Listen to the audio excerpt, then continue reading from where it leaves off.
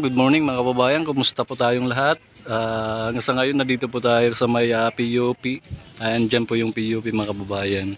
Ay, mag-update po tayo dito sa ah, project nga ng Inlex. Dito sa may harapan talaga ng PUP to. Ah, nakikita po natin na hinuhukay na po. Ayan, simula po yung ah, gibaan dito, kakaunti na lang natitira.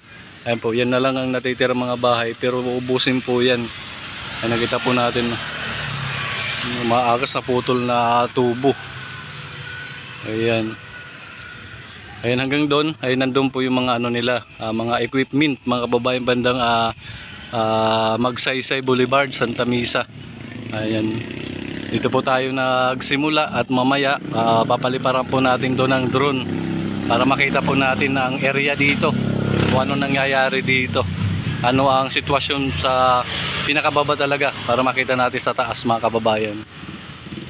Ayan, talagang hinukay na po lahat. Ayan dito po tayo. Ayan banda rin, banda rin dito. Ay ayan no? Ito po natin mga kababayan ayan. hinukay na rin ayan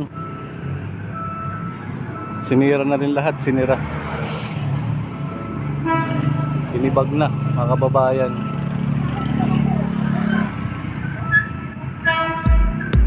Yan, kakaunti na lang natitira.